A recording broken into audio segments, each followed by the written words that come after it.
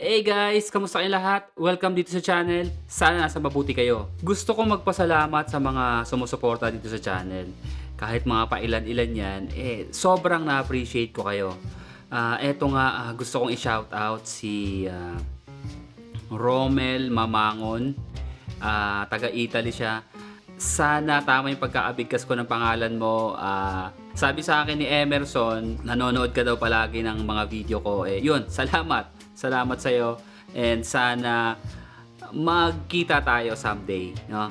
Ah, feeling ko close na tayo eh. Kasi ah, feeling ko yung galawan mo, parang kagaya rin kay Emerson. So, hindi ganun kahirap pa you know ma, ma maka-establish ng bonding sa'yo. So yun, ah, sana and excited na ako na sana magkita tayo someday, no. Mag-snow daw ngayon. So, yan, nakaabang kami ngayon.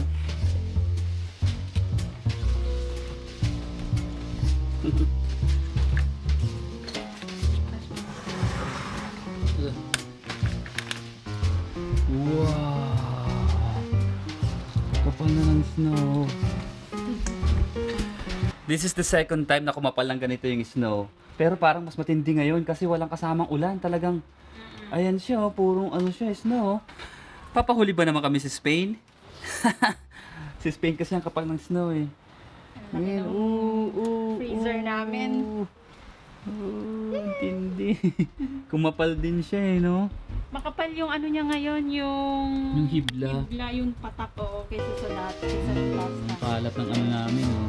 Terrace Kalat ng na. terrace. Terrace.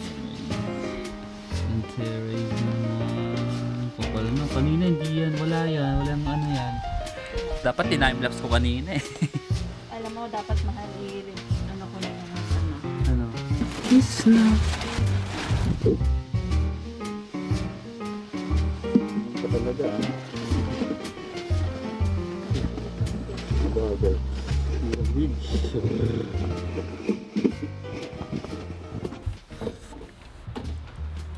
Bakit ba kami natutuwa sa snow? Kasi ang ganda eh.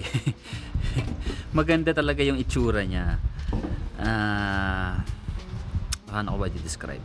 Para siyang may mga bulak na ano. Maganda siya. At tapos lumiliwanag yung paligid. At saka, syempre, minsan lang to sa isang taon. So, nakakatuwa, nakaka-excite.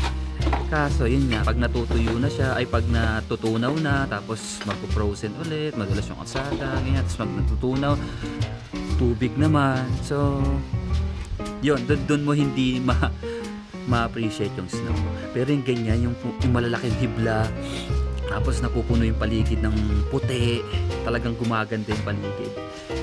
Yung dull na, na paligid eh, lumiliwanag. Yun, kaya ma-appreciate yung snow pag ganun. Samahan ko yung asawa ko. Pagtatapon ng bote, mabigat yun eh. Nasaan na yun? Ano eh? Mabigat yung dala mo eh. Ha? Ayan oh, bigat ang dala niya oh. Kaya nga eh. Bigat yan eh. Yung anak niya, pag... Oh, hawakan mo ito. Paano gubuhat niya? Mm, Pasko. Crab, Japors.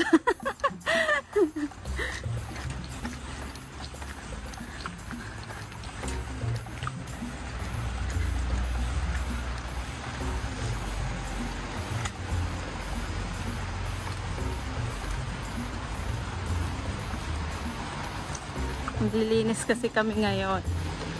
Grab yung chance habang nasa bahay dahil bukas work na naman.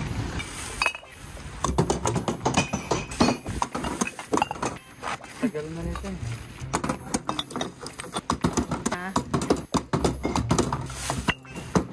May basag dyan, mahal.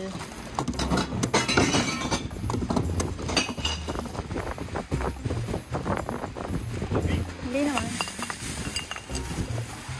Tapo na to ah. Ah, ah. Itapo na namin yung bote. Lamig sa kamay oh. Kulong-kulo na yung kamay ko. Binuwat ng asawa. Ang bigat yan eh. Yan ang kailangan ng responde. Ba yung ano doon? Alam mo naman, sila lumalabas. Hindi pa eh. Ganito lang mabilis lang naman tayo. Ano po? Lamig na sa kamay. I stop ko na to. Woo! Yan guys, nag-stop na yung snow. Ito na yung aftermath niya. Ulan. May kasama ng ulan yung patak. Ayan o. Tapos hindi na hindi na tuloy-tuloy na makapal. So yan na yung pangit. yan na. Parang patunaw na nga yung liwanag kanina na wala na. Hindi na siya ganun ka-bright. Ayan o. Diba? Ayan, wala. So, ganyan lang yung snow namin dito. So, paano ba nabubuo yung snow, no? I-research nga natin yan.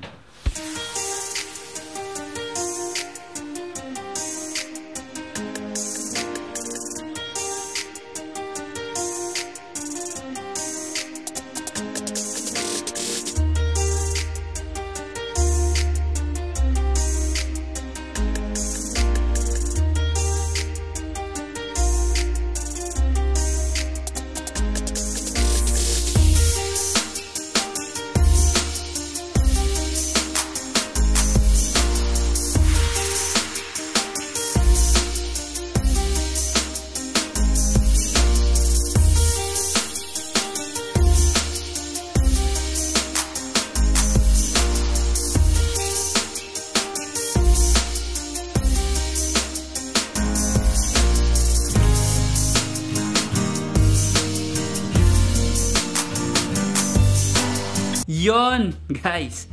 Meron na tayong idea kung paano nabubuo yung snow, no? 'Di ba? Ang ganda, 'di ba?